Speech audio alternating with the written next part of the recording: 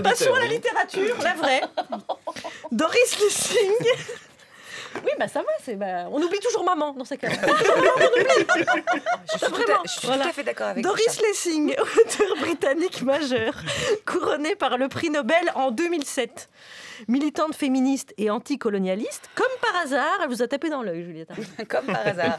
Oui, c'est ça. Doris Lessing, écrivaine, écrivaine prolifique dès 1938, donc avec prix Nobel, comme vous le disiez, en 2007. Best-seller in- international de 600 pages, Le Carnet d'Or, en 1962. Bref, je ne savais pas par où la choper pour vous causer d'elle, pour vous donner envie d'elle. Alors j'ai choisi un livre court, pas par flemme, mais parce que les êtres humains, je les connais, c'est facilement apeuré par les grosses choses. Alors euh, voilà, c'est une petite chose, euh, ce livre, euh, sobre, austère, mais qui a dans le titre, Filles impertinentes, quelque chose qui cligne de l'œil. Un Suivez-moi jeune homme ou Suivez-moi jeune femme. Un livre bref, certes, mais qui contient l'empreinte des thèmes propres à l'écriture de Doris Lessing. Il y a l'autobiographie, il y a l'enfance en Afrique dans les années 20-30, il y a la mère qu'on ne comprend pas, qu'on n'aime pas follement, voire une mère à laquelle on s'est opposé toute sa vie, peut-être même une mère qu'on n'a pas comprise. Ici, maman n'est pas super maman la meilleure des mamounes. Ici, on n'est pas chez Colette, on n'est pas chez Romain Gary, on n'est pas chez Albert Cohen.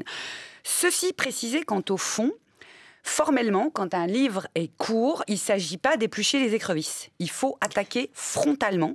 Et ça tombe bien parce que Doris Lessing, c'est une écrivaine frontale. Tout de suite, dès le début du livre, elle propose à la lectrice ou au lecteur deux photos. Celle où sa mère est adolescente, pleine d'assurance, et une autre, 45 ans plus tard, où, et je cite Doris Lessing, elle regarde bravement du fond d'un monde de déception et de frustration. Et tout de suite, Doris Lessing écrit Ce récit a pour objet la distance qui sépare ces deux photographies. Comment on passe de l'assurance à la déception et à la frustration. D'autant que cette adolescente, la mère de Doris Lessing, eh ben, elle a démarré en trompette. Elle avait un frère aîné, un peu crétin, mais qu'on destinait quand même à la marine. Mais pourtant, dans la fratrie, c'était elle, Doris, euh, la mère de Doris, c'était elle l'intelligente, l'ambitieuse. Le mal de mer lui était inconnu. Elle avait l'humeur égale et l'art de s'entendre avec autrui. Bref, tout pour être un, un bon marin. Mais c'est son frère, évidemment, puisque c'est un garçon qui aura la belle carrière. Mais elle, la gosse, euh, ben, elle veut quand même travailler et elle choisit, contre l'avis de son père, de devenir infirmière. Et elle devient infirmière. Et parfois, comme la vie est un poil ironique, eh ben, euh, c'est la Première Guerre mondiale. Alors du taf, euh, ben, elle va en avoir. hein. Et comme dans un roman de gare, elle va tomber amoureuse d'un soldat, et puis ça sera réciproque, mais il va partir à la guerre, et puis il va mourir. Boum, fin du roman de gare, début de cette garce de vie, comme disait mon grand-père.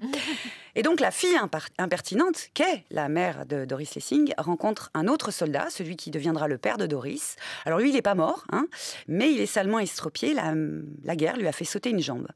La fille impertinente, donc, est devenue mère, mais reste impertinente et résolue. Un exemple, en 1924, euh, un épisode qui nous éclaire sur sa dose d'impertinence. La famille passe par la Russie, qui est, en 1924, vous imaginez bien, à feu et à sang, et un douanier bolchevique à moitié mort de faim, en haillons et armé, leur annonce à toute la famille que leurs visas ne sont pas en règle. L'infirmière en chef s'interpose et lui ordonne au douanier de ne pas faire l'idiot. Oh, don't be a fool. Et la famille passe. à cet instant, comment ne pas penser quand on est lectrice Waouh, la bête de mère que voilà D'autant que cette mère, appliquant les méthodes Montessori à l'époque, hein, éduque elle-même ensuite ses enfants dans les années 20, en Rhodésie du Sud, en plein milieu de la brousse. Et Doris Lessing, d'ailleurs, écrit Ce fut ma mère qui m'ouvrit le monde de la littérature. Alors toi, forcément, tu penses Mais elle est juste trop bien, cette mère Tout doux bijou, j'ai pas fini ma phrase. Ce fut ma mère qui m'ouvrit le monde de la littérature, qui me permit de lui échapper. David Je comprends rien. Enfin si, moi je comprends, et peut-être, peut-être, je vous éclaire la semaine prochaine. Merci, Très bien. merci. Rendez-vous est pris, Juliette Arnaud. Merci beaucoup pour cette lecture.